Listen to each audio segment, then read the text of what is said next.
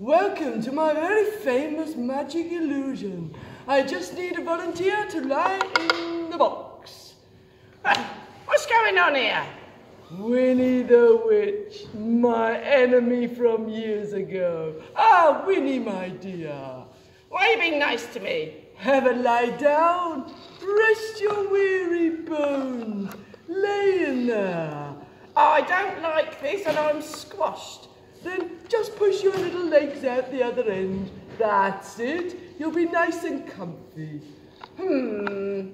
I'll just go and fetch what I need. There we go. Ow! I don't like it and I want to get out. Keep very still. Ladies and gentlemen, don't try this at home. It makes a terrible mess on the carpet. Go round the next door neighbours and do it. I'm going to saw Winnie the Witch in half. Don't! Here we go. Spray on the front row. And there we go. Winnie the Witch in pieces again. Let me out and put me back together again. It would be fun to leave her like this all day, but she'd make a terrible noise.